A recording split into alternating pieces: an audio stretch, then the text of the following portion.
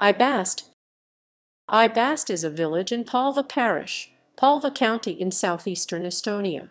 Equals equals References equals equals equals ==